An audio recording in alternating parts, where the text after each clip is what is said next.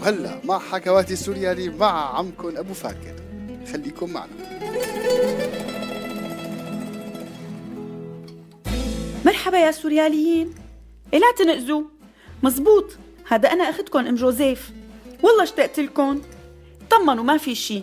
بس أخوكم أبو فاكر تعبان شوي. وآخذ برد يقبر قلبي. ومثل ما بتعرفوا بردات آدار بيجوا مفاجأة وما بينحسب لهم حساب. فنزل هالبرد على صدره وبلشت السعلة معه وما كانت تهدى. فقلت لحالي بما أني سنده لابن عمي وقت الشدائد وما لنا غنى عن بعض الله لا يفرقنا عن بعض إلهي وسيدي. حأجي على الإذاعة وقدم هالحلقة بداله وخلي هو يرتاح بالبيت ويشرب هالشوربة على رواق. معلومكم ما في أحسن من الشوربة الدافية للبرد. خاصة إذا كانت من تحت إيدين أختكم أم جوزيف. يلي بده الوصفة يبعت لي تحت الهواء وأنا بعطياها إيه يعني مو بس أختي مايا لحالها بتعرف تطبخ ببرنامج فتوش. إيوه كمان أنا عندي وصفات غير شكل ما بقولها غير للغوالي يعني للسورياليين وبس. راجعت لكم بعد الفاصل لخبركم حكاية اليوم. يوم وبكرة اليوم رح نحكي عن بكرة أحلى امبارح اليوم وبكرة رح نحكي لك يا بلدي. كيف تغيرنا وغيرنا كيف صرنا نحبك أكتر. ورجعنا يا بلدي تجمعنا وعمرنا يلي تدمر. حلاوة الأفكار نستنا وجع الأخبار. ورجع الأمل بضحكة الصغار. سوريالي سوريالك سوريا إلنا كلنا. سوريالي سوريالك أنت اللي قادر تغير. أنت ابن البلد. إيه إخواتي رجعت لكم. عقولة أبو فاكر. الله يشفيه ويمده بتوب العافية يا حق. إيه إخواتي كان يا ما كان بحاضر هالزمان كان في بنت. إيه لا أبو فاكر. يعني إذا أنا بدي أقدم الحلقة لازم تكون الحكاية عن بنت. شو ما بيصير أحكي عن شاب يعني؟ إيه شو هالتحيز هادية؟ ما بدي حأحكي حكاية من عندي. خليه يعرف يجهز لي حكاية على كيفه بقى هالأبو فاكر. إيه إخواتي؟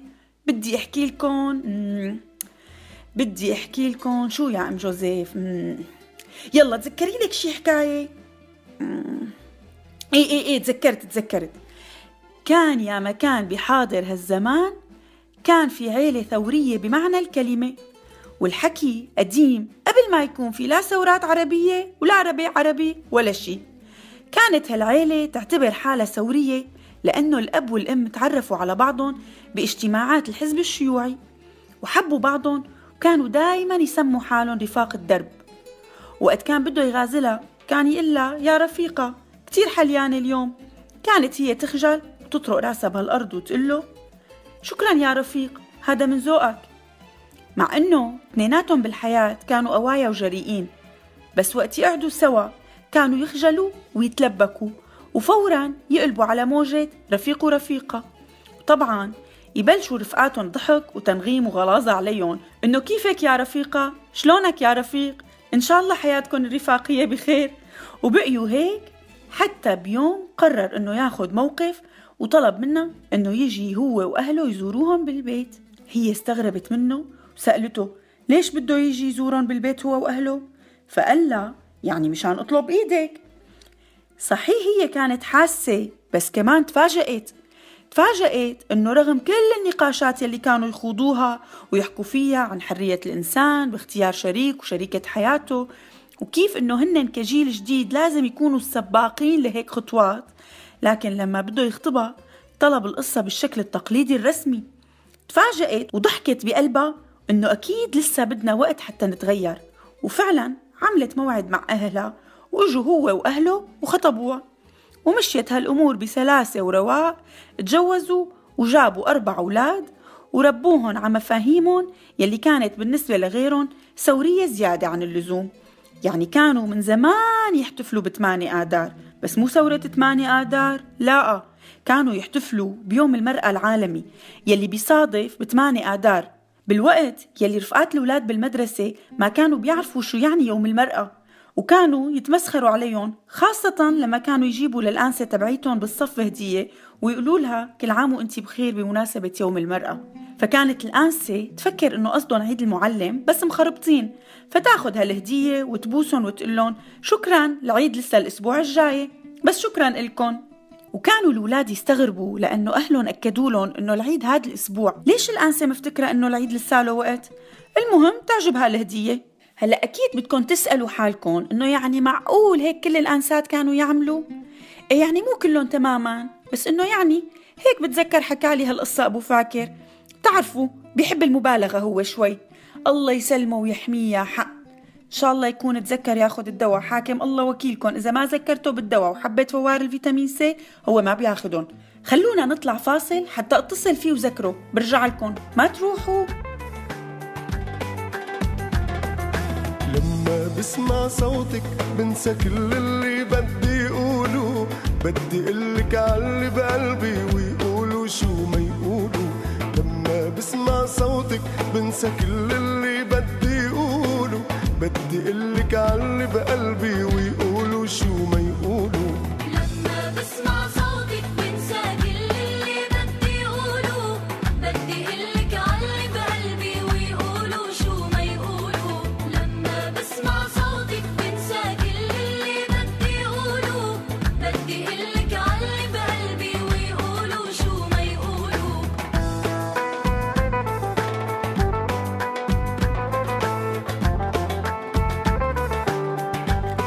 إخواتي رجعت لكم بعد ما أمنت إنه أبو فاكر أخذ الدواء ومشي حاله. رجعت لكم مع حكاية سعاد.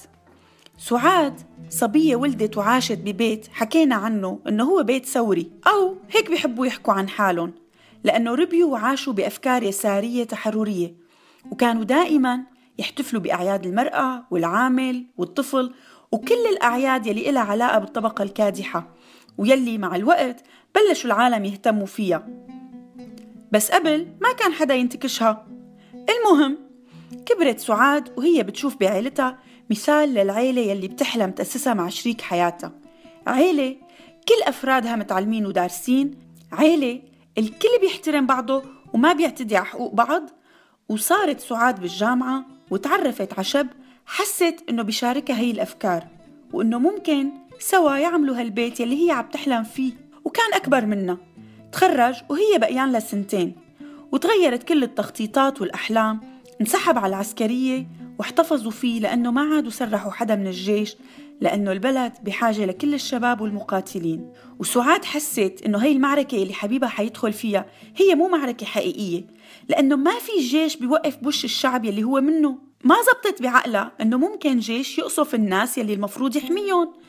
ولما التقت هي وعلاء الشاب يلي كانت حاببته حكت معه وقالت له كل أفكارها وإنه هي عم بتفكر إذا بيهرب من الجيش وبيطلعوا برات البلد لأنه ما كتير قدرانة تتخيل حياتهم سوا وهو ممكن تكون إيديه تلوتت بدم حدا من أولاد البلد.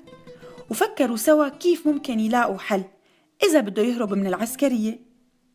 هلأ ممكن أهله يتعرضوا لتحقيق وتعذيب حتى يقولوا عن مكانه وممكن ياخدوا أخوه الشاب ويعتقلوه. ما في حل غير إنه يكمل هالفترة ليشوفوا شو بيصير بالبلد. وفعلا مروا شهور ورا شهور وقلبها مثل هالنار على حبيبها. بنفس الوقت هي ما بقيت تقدر تبقى بعيدة عن يلي عم بيصير. ورغم اعتراضات أهلها ورفضهم للاعتراف بكل يلي عم بيصير بالبلد الشي يلي خلاها تتفاجأ وتنصدم بأهلها وأفكارهم يلي ربوها على حق الشعب بتقرير مصيره. هلأ ما عم بيشوفوا الموضوع غير إنه هو مؤامرة إمبريالية بقيادة أمريكا وما عم يقبلوا يشوفوا الموضوع غير من هي الزاوية. بس مع ذلك هي ما رضخت وشاركت أهل بلدها مصيرهم ومآسيهم.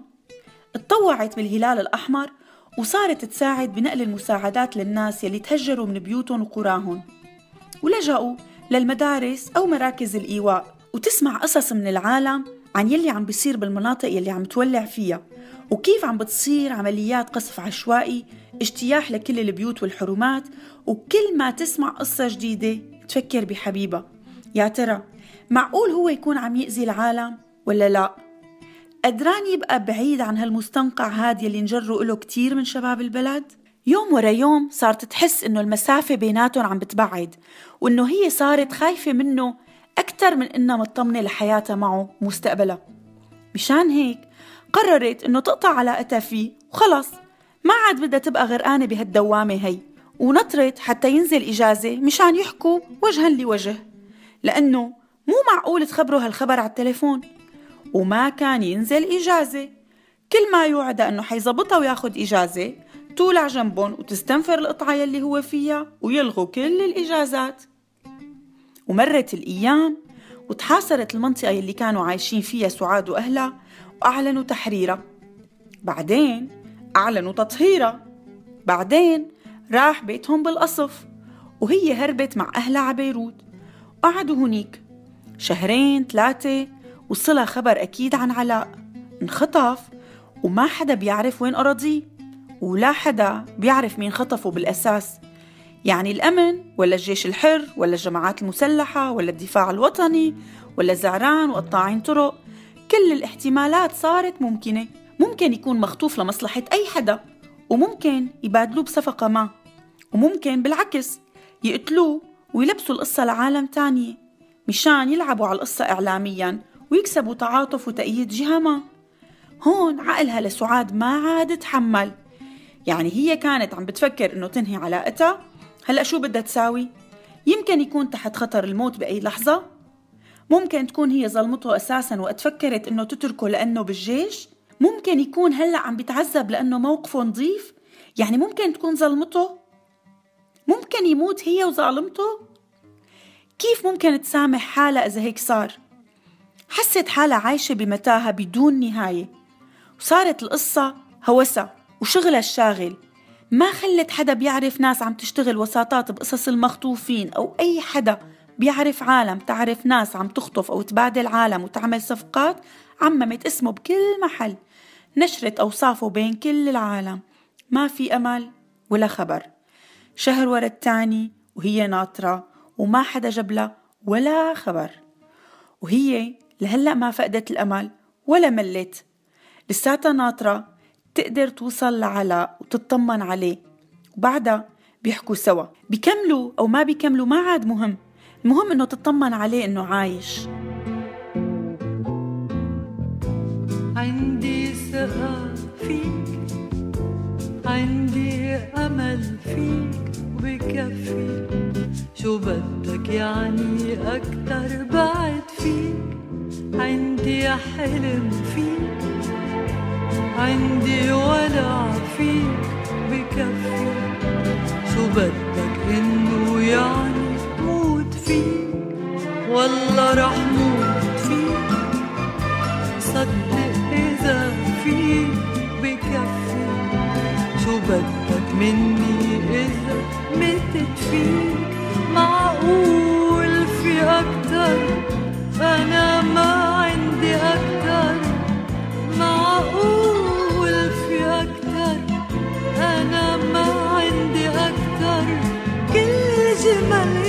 عم تنتهي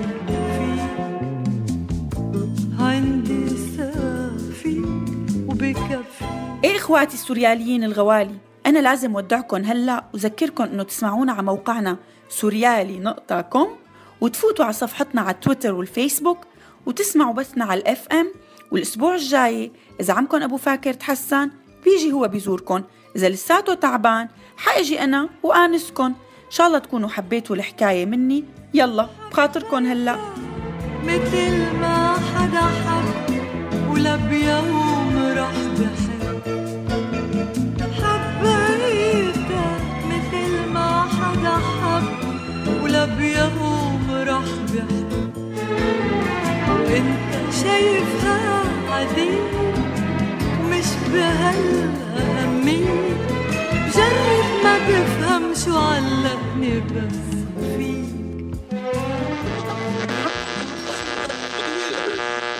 هذا البرنامج من إنتاج راديو سوريالي 2014 عم تسمعوا راديو سوريالي. على فكرة هذا مو راديو.